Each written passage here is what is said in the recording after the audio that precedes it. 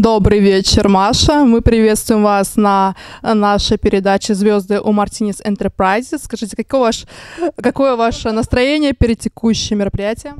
Слушай, потрясающе. Я не первый раз на этом мероприятии у Натальи Полиновой, и они всегда проходят очень горячо, и очень много друзей здесь встречаю каждый раз.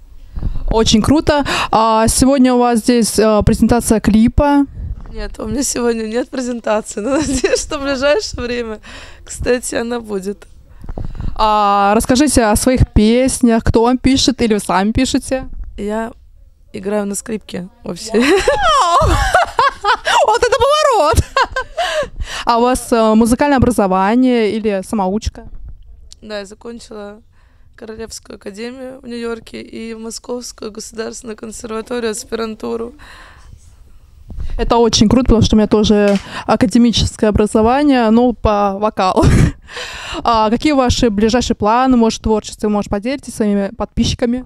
Конечно. У меня в ближайшее время выходит документальный фильм э, про то, как я помогаю людям, которые болеют анорексией. Буквально вчера мы прилетели из Нижнего Новгорода, где мы снимали интервью с врачом, который помог мне перебороть клиническую смерть. В этом году юбилей у меня в плане э, того, что я помогла уже около м, 80 человек побороть булимию, анорексию.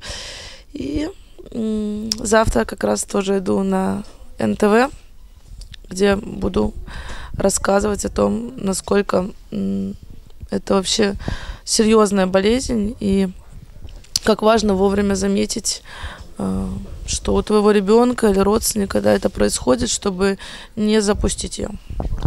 Так, мы плавно перешли от позитива, да, к негативу. А, но не негативу, вернее, главное, чтобы был позитивный исход. А как это произошло вообще? То есть вы, получается, своим опытом показываете, что можно из этого выйти, можно после этого жить?